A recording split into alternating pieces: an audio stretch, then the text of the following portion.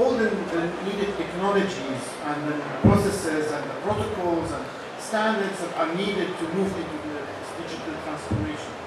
Uh, the idea is we, we stop using manual processes in designing and uh, constructing and operating and we move to more digital uh, tools processes. And uh, oh, you know, I don't know if you, you're listening to the news, if you don't, uh, like me, I don't listen to politics, I listen to big news and what's happening in different uh, parts of the world. Uh, you'll find it's being adopted in different countries, especially like, let's say in the US and the UK, all these advanced uh, economies and, uh, pushing their construction through this BIM. So what are you trying to do here? That's the proper definition. Um, and of course, if you just uh, uh, you have uh, you know, data on your phones, I couldn't find Wi-Fi here, but later on you can uh, check if you don't know what about BIM, search for the, the word BIM or with information modeling, and uh, you will learn uh, that it's really helping industry to, to move forward into digitalization. So, what are the challenges we're trying to face, uh, you know, in facing our construction industry, whether here in Qatar or across uh, the world? And we can see this more so in, um, in uh, Australia, in, in, in Canada, in, in, the US, in the UK, in Europe, because of uh, labor costs. Okay? Uh, if labor costs are high, the adoption of technology and advanced technologies is a bit higher than when you have uh, cheaper labor costs. But we can safely assume that labor costs over time will, start to, increase. And adoption of technology would also increase. And this also can be pushed by, by governments. So governments could mandate, uh, as happened in some of the neighboring countries uh, here, that is starting to mandate, meaning to, to force contractors, to force facility managers, to force designers to adopt these new technologies uh, in order to increase uh, efficiency, uh, reduce waste, uh, you know, to, to, develop things that we didn't have developed without using um, these technologies. So something like the, the, museum you have here by Jean Nouvel would be impossible to, to do without BIM. Uh, just to give you a visual example, we all know this, this beautiful uh, project coming coming through, uh, and using BIM enables these types of complex shapes and makes them possible to be constructed and analyzed and simulated and quantified and cost analyzed. So when we're discussing digital transformation uh, and moving toward these types of technologies, uh, we, we have lots of uh, challenges that face people, people you know, to deal with these technologies. Um, depending where you are in the world, of course, uh, we see uh, a really increase in, uh, in, the pace of these technologies. there's, a, there's a new tools, software, policies that are being released if you're in the field of, of uh, producing documentation and, and, doing design or construction, and you listen to the news that uh, you know, in the construction industry, you will know that there's so many new solutions coming through, really efficient solutions, and they are increasing uh, dramatically over time. This puts lots of pressure on people. Um, to learn these new technologies, to, to be able to implement them in their, uh, the workforce etc. So there's an increase of this digitalization of digitalization. Um, we see now more, uh, because of technology, um, real globalization of project teams. Uh, before it was more we give it lip service, but now there are uh, technologies that enable teams from around the world to work together on the same project using 3D uh, models, uh, integrated databases, etc uh, we see increase of standardization, especially if you're in Europe or uh, you know or in Singapore, and uh, you find that there's lots of standards coming through that construction companies, uh, design companies, facility managers will need to comply with. And if there are players here who are international that play in these fields, they know that they have to comply with these new standards and protocols. And these, all this above uh, really uh, roles new rules and emerge, uh, current rules to, to change. Uh, to give you an example of uh, engineering companies that I work with, uh, typically there will be separation between designers and drafters. People who design uh, do things and then they push them forward uh, or backwards or sideways to people who document. Because of these new technologies coming through, uh, information modeling, uh, this kind of uh, you know flow has been disrupted. Um, it's no longer viable or useful or cost effective for designers to design and to send this over to, to others to, to document, to produce documentation. Uh, so we see these changes happening in engineering firms.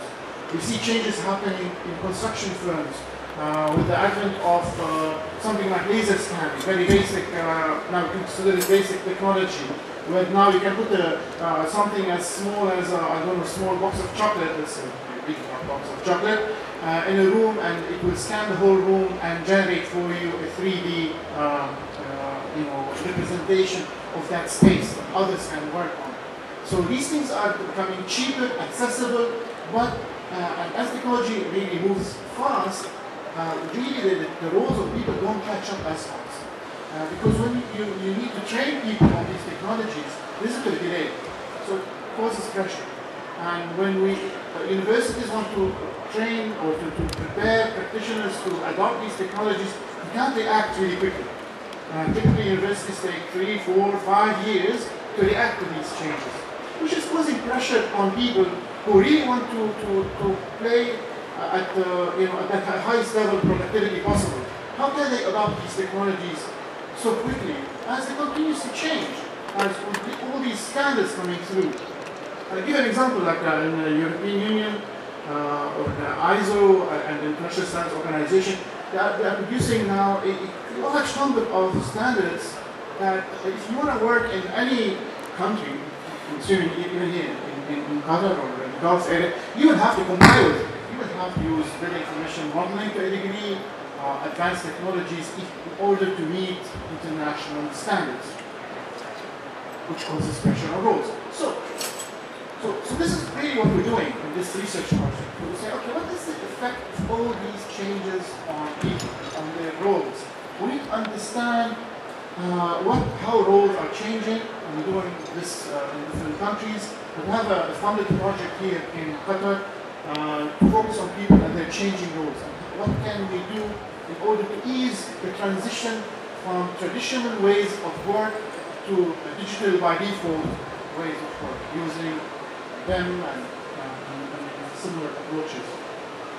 So this project, which is uh, funded by the Qatar Foundation and the, funded through the National Priorities Research Program, and the name of the project, title of the project is Qatar BIM Competency Project. So, so actually, there is, we got funding, this was uh, nearly 18 months ago. Uh, we got funding for three years to uh, do research on this project, uh, on this on this problem. So it's a real problem.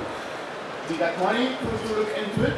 Uh, we are asked to look at what are the competencies of people to move towards this uh, you know, digital future and to understand what are the problems and to help mitigate some of the problems.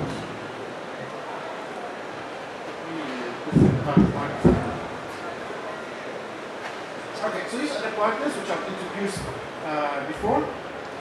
Uh, University, DeSci, Cambridge Investment Company, and uh, Northumbria University. So what are we trying to do? We are trying, uh, these are our objectives, okay? We need to improve the build performance of industry practitioners across Qatar. And we, the technique we're using first is we do benchmarking. So we see where they are at the moment, try to understand for example, I, have just done a very, very basic benchmarking by asking you, how, how, do you know about BIM? And 30% or 31.2% to be exact of you have answered yes. If we do this uh, maybe next year, hopefully it will be 34% or more.